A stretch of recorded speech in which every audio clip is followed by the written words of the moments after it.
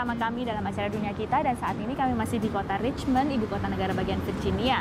Dan kami sedikit membicarakan tentang perayaan atau peringatan Hari Koperasi yang diadakan di Indonesia setiap tanggal 12 Juli. Betul. Nah, di Amerika sendiri koperasi itu memang ada Rio. Hmm. Memang di Amerika itu tidak disebut koperasi, tapi Betul. disebutnya co-ops atau cooperation. Nah, Usaha yang digalang dengan komunitas di sekitarnya itu, mulai dari eh, peminjaman modal, terus juga penginapan yang biasanya dilakukan. Nah, usaha-usaha ini memang digunakan atau dijalankan supaya memberikan eh, kebebasan atau memberikan emansipasi ekonomi bagi komunitasnya. Nah, ngomong-ngomong soal masalah emansipasi dan juga pemberdayaan komunitas nih, di Washington DC ada sebuah restoran yang mempekerjakan pekerja khusus pengungsi. Ah.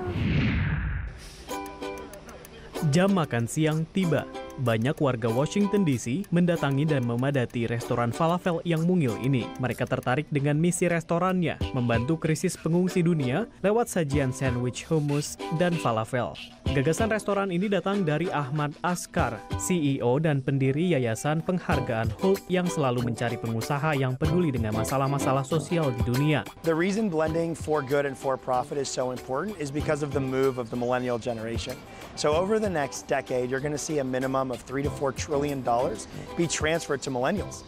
Millennials think differently, they shop differently, and they behave differently because they grew up in a world where looking the other way to the global challenges that we face as a society was impossible. Sebagai warga Amerika keturunan Palestina, katanya krisis pengungsi adalah masalah yang paling mengganggu.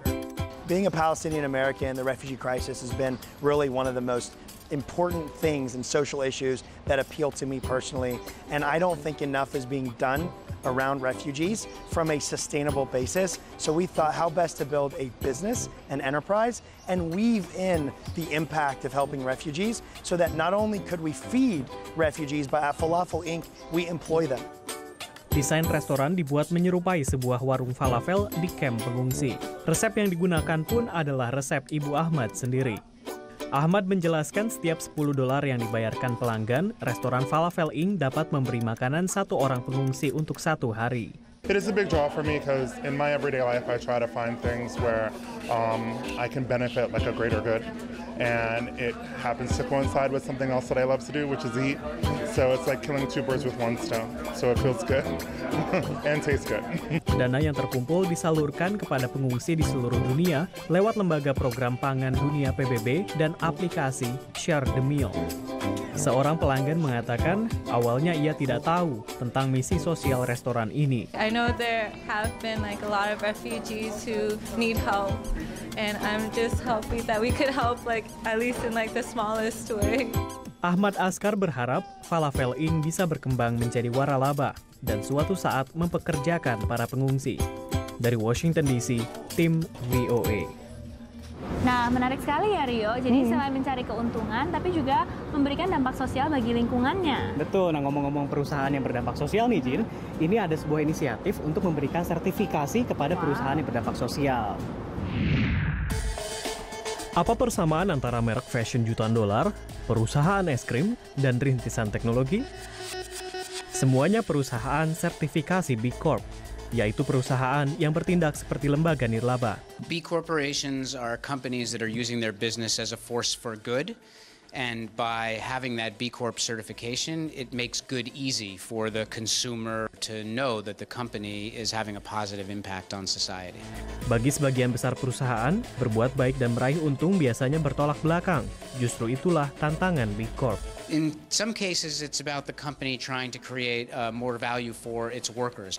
In other cases, it might be about creating a product that's more environmentally sustainable or socially responsible. Saat ini sudah ada lebih dari 2.000 perusahaan internasional besar dan kecil yang bersertifikasi B Corp. Our foreign certifications are outpacing our US based certifications for the last year now. We've got partners in 13 different regions uh, Latin, Latin America, Europe, a lot of momentum now in the Asia Pacific regions and Africa. Untuk mendapat sertifikasi, perusahaan harus meraih 80 dari 200 poin dengan kriteria pengurangan limbah hingga peran kepemimpinan bagi perempuan dan minoritas. Contohnya, retail online Uncommon Goods. You're able to measure how you rank uh, in terms of taking care of the community, how you rank in taking care of the environment, how you take care of your customer. Evaluasi dilakukan setiap dua tahun. Peraturan perusahaan harus mencerminkan akuntabilitas pekerja dan konsumen. Biaya sertifikasi antara 500 hingga 25 ribu dolar per tahunnya, tergantung ukuran perusahaan. Sertifikasi dirasa memberi nilai tambah. When you see that certified B Corp logo on uh, different products, you know that you're getting a good product. The goal is that one day all companies will be able to manage and measure their impact with the same rigor as their profits. And by doing that, that all companies will compete to be best for the world, not just best in the world. Menurut mereka, nilai-nilai masyarakat sebagai nilai perusahaan merupakan ciri berbisnis yang baik. Dari kota New York, tim VOA. Wah Jin, ternyata banyak juga ya perusahaan yang punya perhatian untuk isu-isu sosial seperti ya, tadi. Nah, jika pemirsa masih ingin tahu lebih banyak lagi liputan tentang ini, jangan di mana-mana, tetaplah bersama kami di Dunia kita.